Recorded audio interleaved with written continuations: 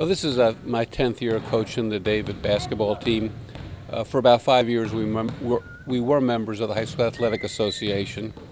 Uh, then we had a, a, period of problems at the school, and we restarted the team about four or five years ago. Uh, we currently play small religious schools. We're not in the High School Athletic Association.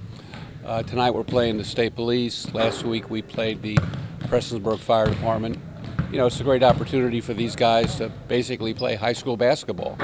You only get to play high school basketball once in your life, and Prestonsburg High School and Allen Central have both made their gyms available to us to have home games since we don't have a gym at the David School.